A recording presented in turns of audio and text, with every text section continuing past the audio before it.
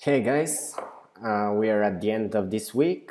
It's Friday, it's time to have some fun and forget a little bit and take a break from the markets. But first, I want to present you with my weekly recap and to tell you uh, how our, our plans developed this week and what happened with them.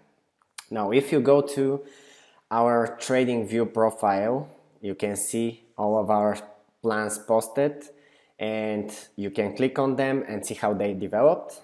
Now, first of all, I want to check the plan that I posted yesterday, which was a short-term day trading plan on the Great British Pound Japanese Yen currency pair. As you can see, we had a decision point here, a zone of decision, which I expected either for the price to bounce off and go back up till 150, 55 or to break and go down to 148, 90, even 85. Let's see what happened on this plan, shall we? As you can see, we had a small consolidation before a nice uh, bearish candle broke through this zone of decision.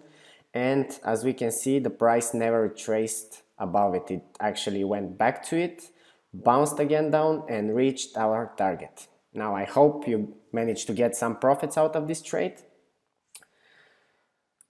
Now let's see the weekly uh, weekly video with the weekly trading plan which was uh, based on the Euro-Japanese Yen currency pair.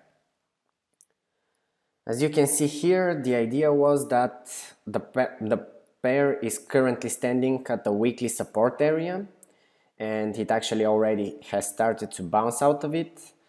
Uh, we defined a buy zone for a long-term trading and two H4 stoppage areas which are our targets.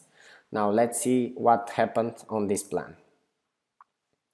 As you can see, the price rallied a little bit up and now entered into a consolidation uh, stage or we can say that this is a range trend on the H4. I just want to check out our trade which I posted on Twitter and how things are going.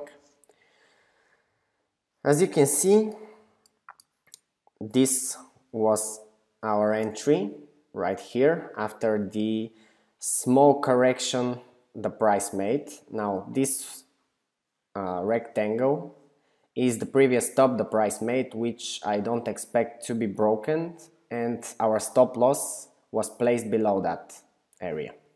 As you can see the price entered into that area actually a few times now but it failed to break it. So uh, in this case we are a little bit on minus on this trade like around uh, 20 pips.